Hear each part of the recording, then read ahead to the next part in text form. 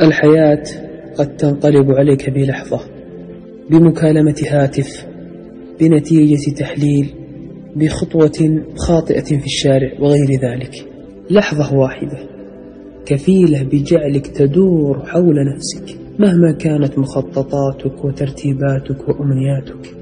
الحياة تخبرنا بأنه لا يوجد فيها ضمان غير إيمانك بربك حيث لا قوتك ولا علمك ولا فهمك ولا أموالك ستنفعك أمام لحظة من هذه اللحظات.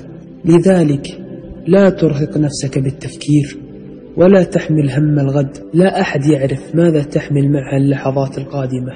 فأرح بالك وارمي كل الأفكار والهموم والقلق خلف ظهرك وتوكل على الله وهو يصلح بحكمته حياتك. وقل دائما اللهم تولني فيمن توليت.